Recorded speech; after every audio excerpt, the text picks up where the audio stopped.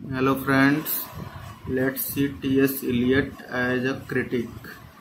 Eliot is one of the biggest name in modernist criticism. He is undoubtedly one of the most impressive theorists of English literature.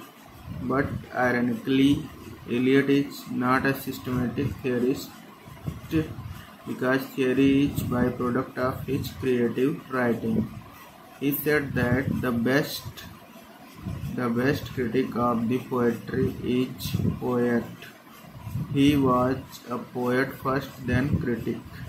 That's why T.S. Eliot as a critic is closely related with T.S. Eliot as a poet and dramatist.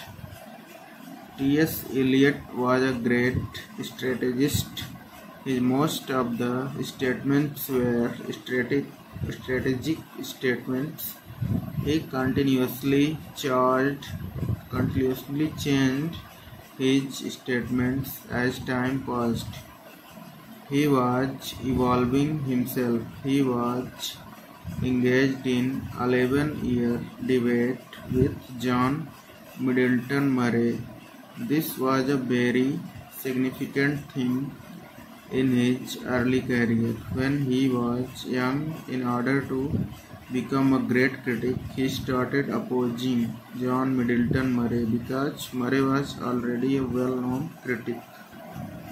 Because Murry supported Romanticism, so Eliot began supporting Classicism. Because Murry almost worshipped Shakespeare, therefore T.S. Eliot began opposing Shakespeare. Eliot formulated a lot of theory because he was in the opposition of J.M. Murry. All these things made him a remarkable theorist. He was a very intelligent man. Eliot believed that the best critic of the poetry is poet.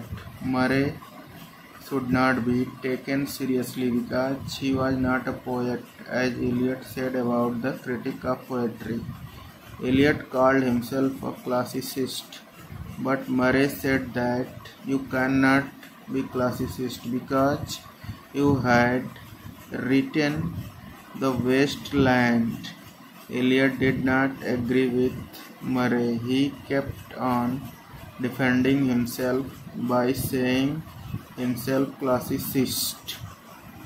After two decades, he admitted that he was not entirely classicist. So Eliot said something only to oppose Murry. Eliot wrote very much about impersonality because romantic poet writes about his feelings and emotions. After some time, T.S. Eliot said that personality is very important thing of a poet. His theory is byproduct of his creative and debate with Murry. He cancelled all the critics who were not poets. He believed in poet critics like S.T. Coleridge, John Dryden, etc. T.S. Eliot said Hamlet is an artistic failure. After several years, Eliot said that Hamlet cannot be artistic failure because it is an successful play on the stage. He said so to get the attention of people.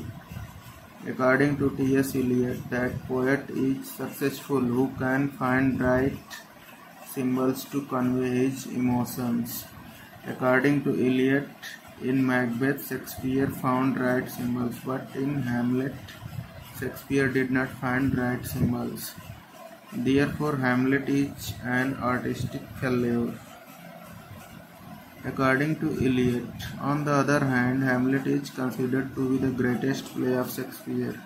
T.S. Eliot tried to look at poets very carefully as well as about dramatists. Eliot's mind worked historically for him. Western literature started from Homer. He looked the connection from Homer to his contemporary writers. Others did not look like him. Every new author is linked with Homer according to Eliot. Every new writer is a link in that chain. His theory of tradition is very important. He believed that creation is an evolution. He talked about Europe in his famous essay Tradition and the Individual Talent. He tells that without tradition a writer is useless and only become tradition is also useless. A writer must add something to tradition. For Eliot, tradition is very significant and individual talent is also very important. Now, therefore, tradition gives impersonality to a writer.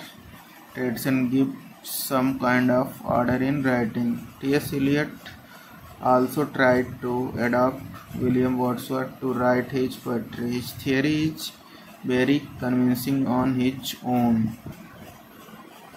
T.S. Eliot is one of the modern poets. T.S. Eliot tried to separate the meaning of tradition from the past. For him, tradition is something that involves a historical sense.